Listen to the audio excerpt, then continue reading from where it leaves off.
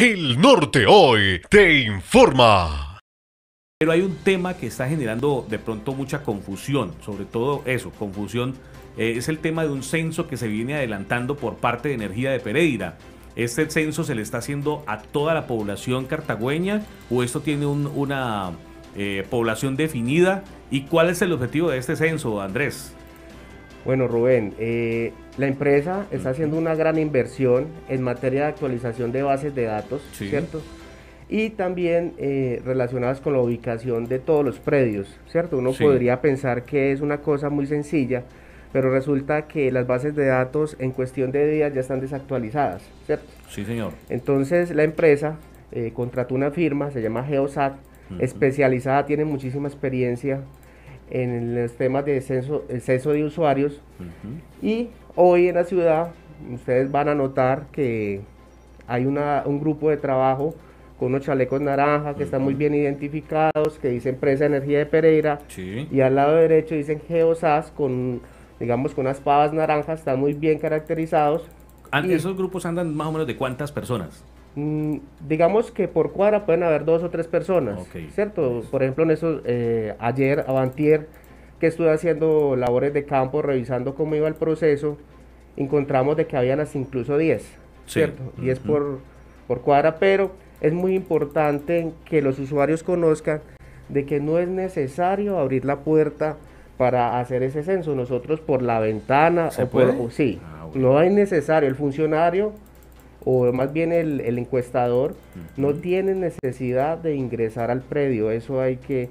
Y lo digo, y lo digo con tanta relevancia porque usted sabe que, digamos, hay personas que se acogen a este tipo de... que son como delincuentes y se pueden aprovechar de la imagen para hacer sus daños. Entonces, el censo... Y por estos días que están desatados en Cartago. Están desatados. Entonces hay que, es mejor advertirlos, ¿no? Claro por una ventanita, por un ladito de la puerta, lo único que necesitamos es que nos suministre la factura, nosotros tomamos el dato de la matrícula del predio y le vamos a empezar a hacer una encuesta donde solamente necesitamos que nos dé su cédula, nombre, teléfono, un teléfono, un teléfono y un correo electrónico, ¿cierto? Y una serie de datos ya muy generales que le hacen allí. ¿Por qué necesitamos esa información, cierto? El para qué es lo importante, lo que estamos hoy e Ese es el más importante, ¿sabe? ¿Por qué Don Duber? La gente está diciendo que es que la empresa de energía de Pereira está llegando a hacer esto, que porque le van a subir los servicios públicos. Le van a subir el Sí, hay mucha prevención hace rato, desde hace rato hay mucha prevención. Pero entonces ese tipo de comentarios lo mejor es combatirlos con la, con la razón, con la verdad. Y en este momento, pues la empresa de energía es quien es la, la entidad eh, autorizada para, para, ilustrar a la gente, para que despejen eso y, descarten de una vez que no es para subirle los, a nadie, ¿no? ¿Allí responde el propietario del predio o el, usuario, la, persona que está allí? A nosotros nos interesa tener, si hay datos del dueño del predio, si hay datos, porque seguramente el que está dentro de la casa, el que está en la casa recibiendo la encuesta, sea un inquilino y los tiene, genial. Pero si no los tiene, nos quedamos con los datos del suscriptor, que finalmente es quien está usando el servicio y con el que nos interesa mantener comunicados para suministrar la información de la empresa hacia el usuario de forma particular. Sí, más personalizada. Más personalizada y sectorizada. Y, sobre todo más precisa, ¿no? Porque ustedes necesitan es eso, precisión en la actualización de datos. Claro, lo que puede pasar en el sector de la Comuna 7 no necesariamente esté pasando en la Comuna 1, entonces digamos que ahí estamos dando una información sectorizada.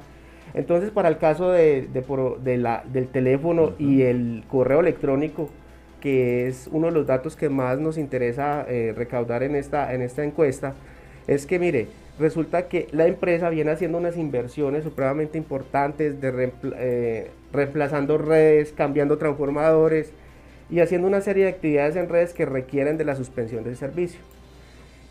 Eh, eso nos va, nos va a ayudar entonces si nosotros tenemos esta base de datos a que por ejemplo dos días antes, un día antes o tres días, dependiendo pues de, de cuánto se vaya a prolongar la suspensión, nosotros les mandemos un mensaje de texto o un mensaje electrónico, un, un correo electrónico donde le informemos, mire, señor usuario, desde las 8 de la mañana hasta las 10 de la mañana nuestro servicio va a estar, su, su, vivienda va a estar sin servicio de suministro de energía eléctrica, por lo tanto al usuario le da la oportunidad de buscar una alternativa, De solucionar. El Norte Hoy te informa.